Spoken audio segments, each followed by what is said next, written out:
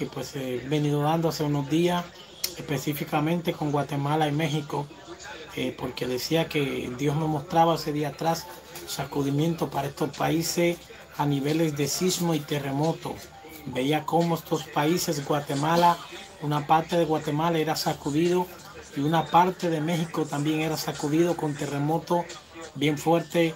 y o sea no puedo callar lo que Dios me revela no no o sea no iba no iba a hacer este video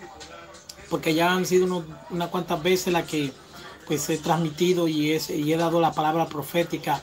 pero fui instado por Dios hoy estamos a 30 solo falta un día para entrar en el año 2021 y nuevamente pues soy instado por Dios a dar estas profecías